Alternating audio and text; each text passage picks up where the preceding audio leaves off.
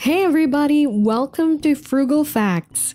Today, we're going to go over the top 10 things you should not spend money on. Make sure to watch until number 1 because it's one of the most amazing saving tips I've ever seen. Make sure to subscribe to the channel so we can help you with saving tips regularly.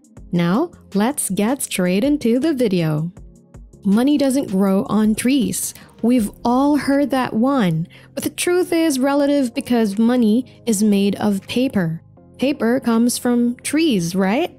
No matter where the money comes from, it is not easy to make. Some of us have to work three jobs just to make ends meet, and sometimes they still don't. To make certain that your money works for you and that you're not wasting a single dime, it is important to know things that you're not supposed to spend your hard earned cash on. Here are 10 things you should not spend money on.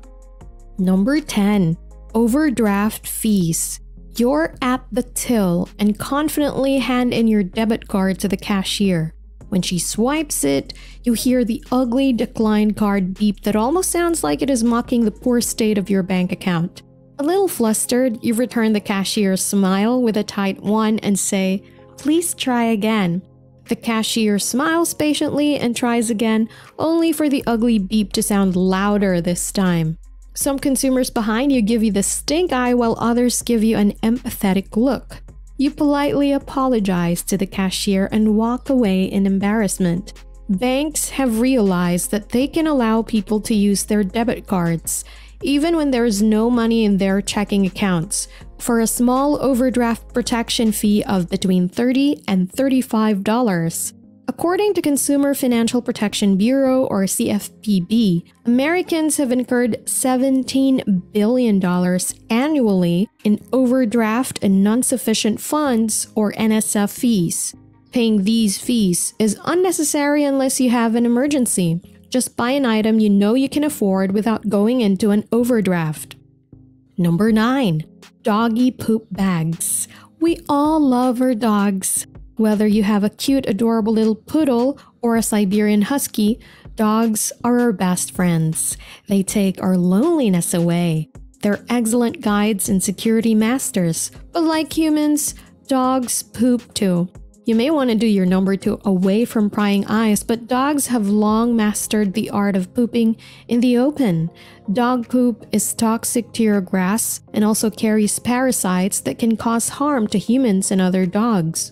You need poop bags to pick up your dog's waste, which costs money. You can find poop bags for $20.35 on Amazon, and if you need them shipped, you'll have to pay extra in shipping fees. You can avoid spending money on poop bags by using old grocery bags. Are you one of those people who throw away used grocery bags? You have now found a new use for them. Master it.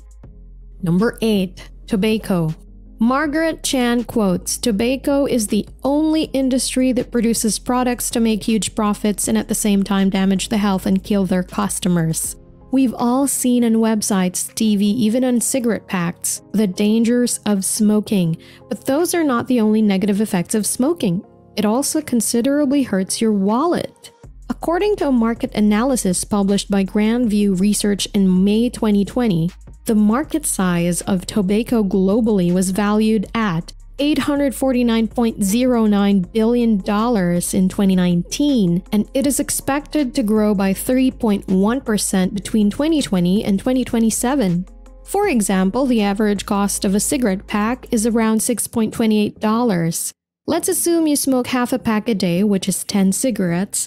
That's $3.14 in a day, $94.2 in a month, and $1,130.4 in a year. In 10 years, you'll have spent a whopping $11,304. Not only have you wasted thousands of dollars, but your health status isn't stellar either. Number 7. Lottery tickets and gambling. Playing the lottery has been called a poor man's game. Statistics have shown that people of low income groups play the lottery more than their counterparts from the upper class groups.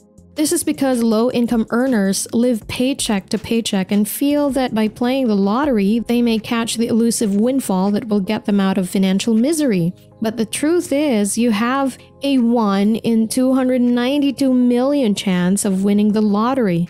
In reality, you have better chances of winning an Oscar at 1 in 11 500,000 or dying in a plane crash at 1 in 1 million. Playing the lottery wastes not only your money, but the time you can utilize to do something productive. Number 6. Credit card interest charges. According to Experian data, credit card debts in America have dropped by 9% and stand at $756 billion, down from $829 billion in the year 2019. That is quite commendable considering we're in the middle of a global pandemic. But not all is rosy if you're in the habit of not paying your credit card dues on time. If you fall in that category, you need to rethink that strategy. If your credit card company does not charge you a late fee, as is the case with Citi Simplicity Card, just pay your credit card debt, even if it is just in principal alone. The good news is that interest is only charged on the money you owe. The bad news is that interest for the money you owe is not calculated annually, it is done daily.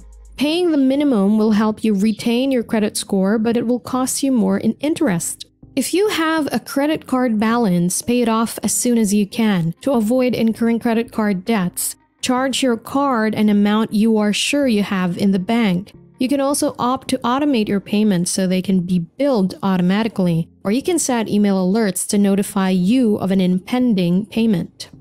Number 5. Online shipping costs. Why walk when you can fly, right? Well, not always, especially when it comes to money. Shipping costs dampen the will of a customer to shop when they see the final quote. Many online businesses choose to do away with shipping fees because, according to Inc.com, 88% of customers admit that they'd be more likely to buy from a store that offers free shipping than one that doesn't. To stop spending your hard earned cash on shipping, you can opt to use any of the following methods.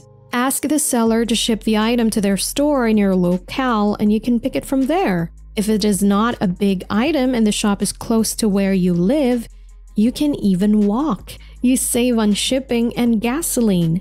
Meet the minimum requirements for free shipping. For example, say you want an item priced at $30 at Walmart.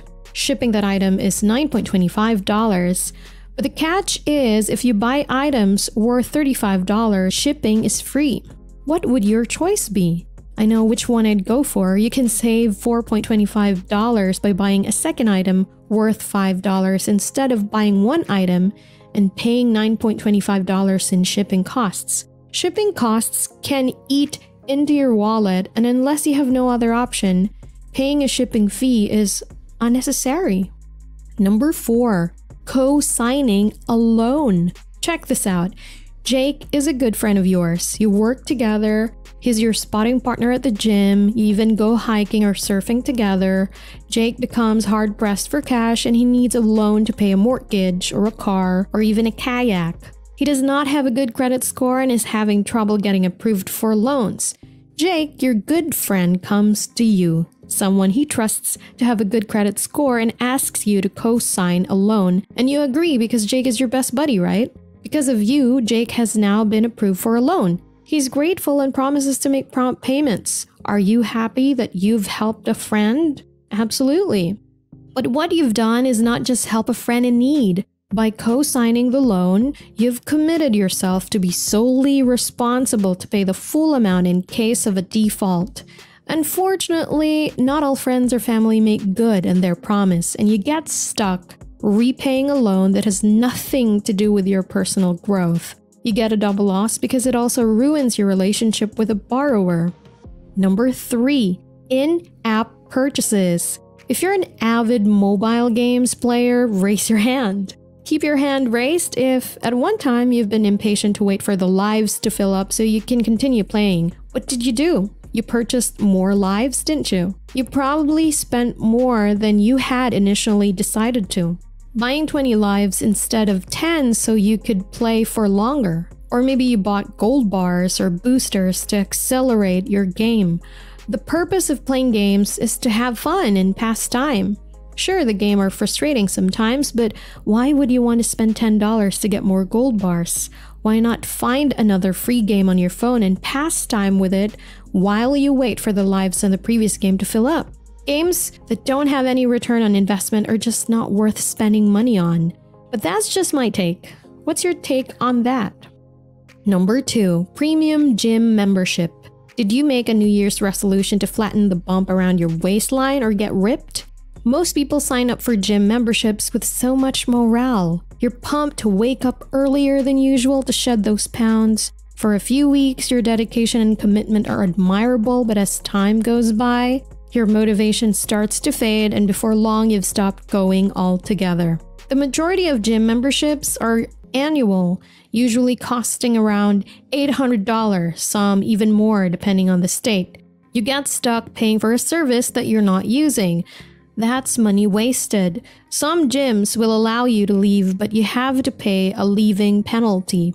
Instead of getting a gym membership, try home workouts. They are as effective and will cost you nothing, just a good sweat, which is a good thing, right? Number one, airport purchases. If you are naturally impatient, you will want to punch everyone at the airport. Many things progress at a very slow pace. Instead of getting frustrated, there are kiosks, shops, supermarkets, and duty free shops that you can window shop in to help you pass time. But don't buy anything at the airport because more often than not, you'll find yourself cuffing up twice the amount you would at local stores. For example, according to The Hustle, earplugs on the street cost $4.99 while the airport sells them at $8.99. That's almost double the street price. It seems like a waste of money to buy at double the price when you can get them at a cheaper price, don't you think? So there you have it. What are some of the tips mentioned in this video have you used? Go ahead and tell us. We promise we won't judge you. We'd love to hear your opinions and suggestions about this video. What are some of your pet peeves when it comes to spending? Please leave a comment below and let us know. Subscribe and turn on notifications so you don't miss more videos of saving tips and much more. Check out this playlist of my top 10 videos of saving money tips and I'll see you in the next video. Take care!